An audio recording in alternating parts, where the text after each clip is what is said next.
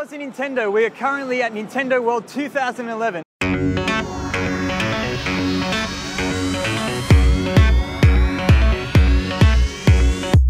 As you can see, it's pretty packed. It's been pretty awesome so far.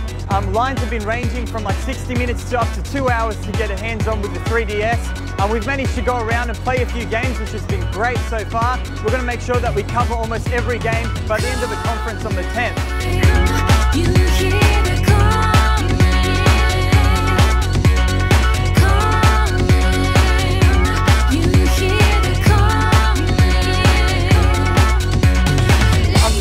Weren't able to get too much footage of the 3DS itself because it's not allowed, but um, we still have plenty of pictures and we're going to have a lot of write-ups and in, de in detailed previews.